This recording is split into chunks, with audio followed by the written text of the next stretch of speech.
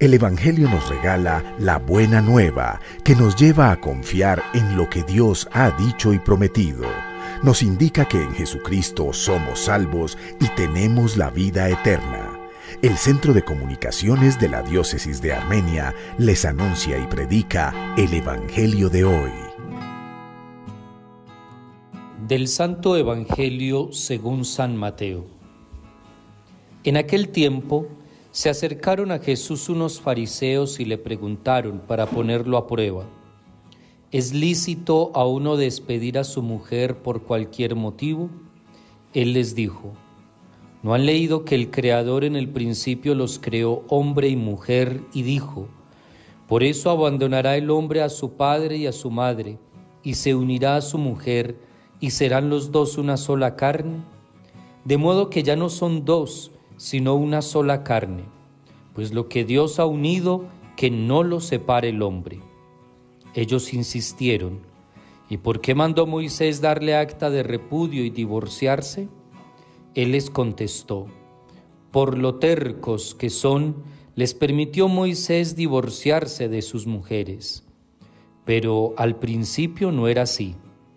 Ahora les digo, que si uno se divorcia de su mujer, no hablo de impureza, y se casa con otra, comete adulterio. Los discípulos le replicaron, si es esa la situación del hombre con la mujer, no trae cuenta casarse. Pero él les dijo, no todos pueden con eso, solo los que han recibido ese don. Hay eunucos que salieron así del vientre de su madre, a otros los hicieron los hombres, y hay quienes se hacen eunucos por el reino de los cielos. El que pueda con esto, que lo haga. Palabra del Señor. Gloria a ti, Señor Jesús. Terminado el discurso eclesial del capítulo 18, siguen unas recomendaciones de Jesús en su camino a Jerusalén esta vez la célebre cuestión del divorcio. La pregunta no es acerca de la licitud del mismo, que era algo admitido, sino sobre cuál de las dos interpretaciones es más correcta. La amplia de algunos maestros que multiplicaban los motivos para que el marido pudiera pedir el divorcio, o la más estricta que solo admitía en casos extremos, por ejemplo el adulterio.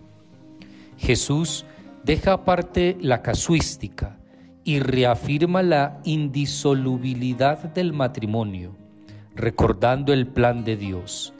Ya no son dos, sino una sola carne. Así pues, lo que Dios ha unido, que no lo separe al hombre. Al mismo tiempo, negando el divorcio, Jesús restablece la dignidad de la mujer, que no puede ser tratada como en aquel tiempo, con una visión machista e interesada. La excepción que admite no se sabe bien a qué se puede referir, pero lo que sí queda muy claro es el principio de que lo que Dios ha unido, que no lo separe el hombre. Cristo toma en serio el encuentro entre el hombre y la mujer, el matrimonio, la dignidad de la mujer, no con los planteamientos superficiales de su tiempo e incluso de ahora, buscando meramente una satisfacción que pueda ser pasajera. En el Sermón de la Montaña ya desautorizaba el divorcio. Aquí apela a la voluntad original de Dios que comporta una unión mucho más seria y estable. El plan es de Dios. Él, es quien ha querido que exista esa atracción, ese amor entre hombre y mujer, con una admirable complementariedad y además con la apertura al milagro de la vida que ellos mismos colaboran a Dios, lo cual nos recuerda la necesidad de que lo tomemos en serio también nosotros es preparación humana y psicológica del matrimonio, es su celebración, es el acompañamiento que viene después, es el amor que Dios quiere que sea estable, fiel y maduro. Si el matrimonio se acepta con todas las consecuencias, no buscándose solo a sí mismo, sino con esa admirable comunión de vida que supone la vida conyugal y luego la relación de padres e hijos, evidentemente es comprometido, noble y gozoso. Podríamos completar hoy nuestra escucha de la palabra bíblica escuchando lo que el catecismo enseña sobre el matrimonio. Numerales 1612 a 1617 valora el matrimonio cristiano desde su simbolismo del amor de Dios a Israel y de Cristo a su iglesia. Y también nos da una gran lección de la fidelidad estable que vale igualmente para los que han optado por otro camino como el celibato.